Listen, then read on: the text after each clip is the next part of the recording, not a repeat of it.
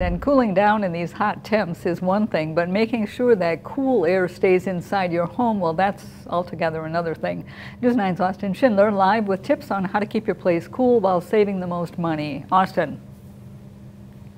With temperatures and energy costs on the rise, it's very important this summer to know how to most effectively keep that cool air inside instead of out. And you'd be surprised how many things can affect your bill.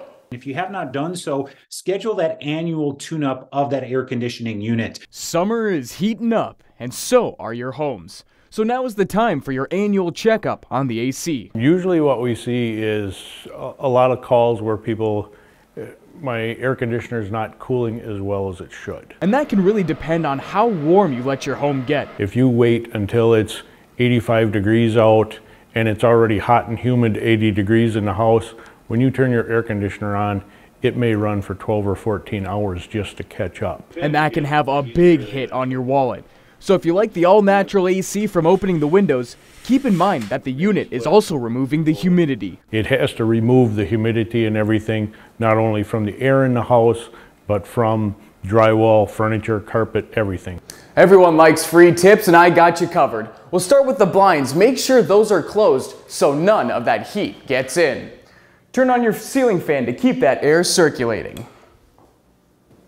And turn up your thermostat about 7 to 10 degrees when you aren't home or heading to bed the energy that a ceiling fan uses or fans in general use, uh, you know, very cost effective as compared to continuing to run that air conditioning unit. And if you think your AC isn't doing the trick, before you replace everything, check around your windows and doors. Go around those windows, go around your doors as well. Seal any gaps that you see with caulk or weather stripping, uh, because when it comes to the summer months, we're looking at keeping that cool air inside your home.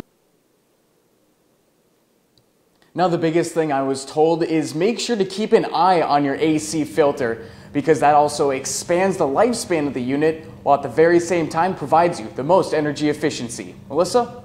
You're just full of tips today, Austin. Anything else you'd like to share with us before you go? Yeah, I got just one. Right now is the absolute perfect time to get outside and do some outdoor grilling. Because if you start doing it here inside, the stove and the oven, that's going to only make things hotter. So go ahead, grab the griddle, grab the grill, and do some outdoor cooking. Live in Wausau, Austin Schindler News 9, WAOW. I'll take you up on that. Thank you very much, Austin.